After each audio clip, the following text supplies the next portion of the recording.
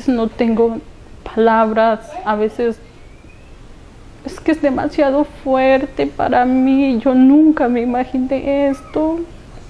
La señora Flora González Gómez, esposa del Cías Hernández Ortiz, sobreviviente de la masacre ocurrida en el área metropolitana de Atlanta, nos comentó sobre los hechos. Bueno, yo estaba, yo estaba aquí en casa. Él me dijo, este, me dispararon, me dispararon. Por favor, vente, vente, que te necesito. Lo único que dijo y se cortó la llamada. En esos momentos, la señora González buscó a su esposo en un taller, luego en un AutoZone angustiada por la vida de Elías, sin saber en dónde estaba, hasta que por fin llegó al spa. ¿Qué te pasó por la cabeza en ese momento? ¿Qué fueron estos momentos? Eh, yo, yo no creía que era cierto, yo no creí que era cierto. Yo me fui porque él ya no me contestó la llamada, entonces ya yo no sabía qué hacer, yo temblaba, yo lloraba y yo estaba como sin poder reaccionar. Estuvieron por horas con la incertidumbre del bienestar de su esposo hasta que la policía se acercó a ella. Cuando la policía dijo, me dio una tarjeta y me dijo, puedes ir al hospital, está en tal hospital y él está vivo. Y fue algo fue algo que esperanza viva. Fuimos al hospital y llegaron los doctores, ahí fue el momento más, más difícil de mi vida, que yo nunca me, me, iba a imaginar que yo iba a vivir por eh, eso.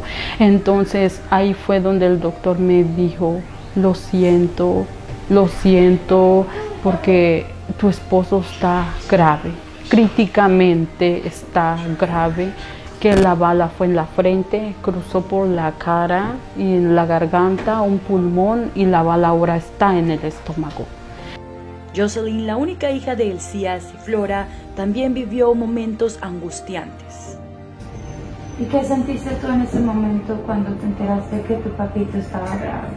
Pues yo no sabía qué hacer tampoco solo lo quería hacer a mi mamá feliz, que todo iba a estar bien también, pero estaba llorando. ¿Y tú le dijiste que tenía que ser fuerte por su cumpleaños de su hija?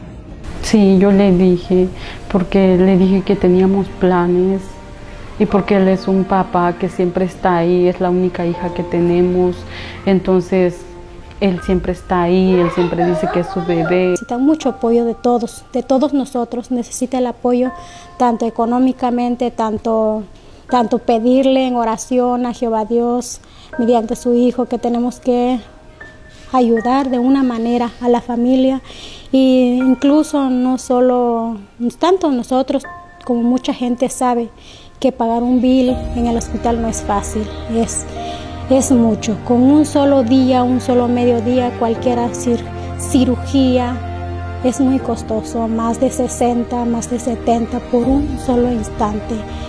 El señor Hernández, sobreviviente a esta masacre, continúa en un estado delicado, ya que la bala que le atravesó desde su frente al estómago continuará allí hasta principios de la próxima semana que la puedan remover. Él necesitará un cirujano plástico y otros procedimientos quirúrgicos, para lo cual la familia del señor Hernández está pidiendo ayuda a toda la comunidad para que puedan donar a su página de GoFundMe y pagar todos estos procedimientos médicos. Para Mundo Hispánico, Camila Daza.